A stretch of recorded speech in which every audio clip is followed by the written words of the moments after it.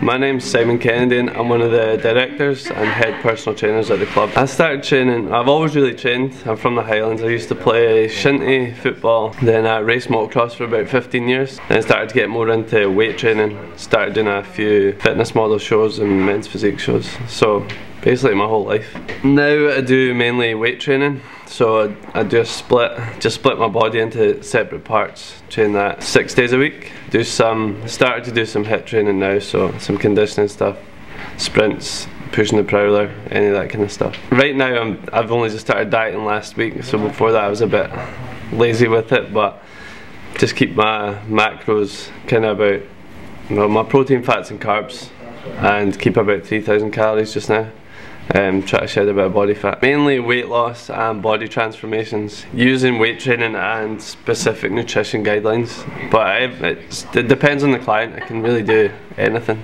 My goals right now are just to get athletic uh, so I'll keep the conditioning in there, sort my macros, my food out a wee bit more but basically just to get lean-ish, not stage lean but lean-ish and just stay athletic, fit and healthy been in this industry for about 10 years now. It was when I started in it, it was good. It was quite, there was like club vibes everywhere and everyone kind of chatted. But I feel like over the last maybe five years, it's kind of gyms, especially in Glasgow, have lost that. There's no club feel. There's no.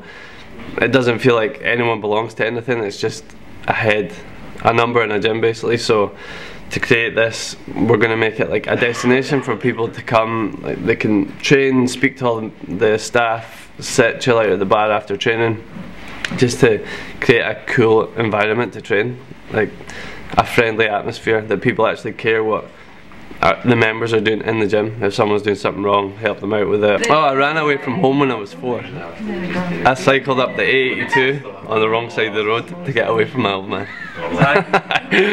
Nearly died.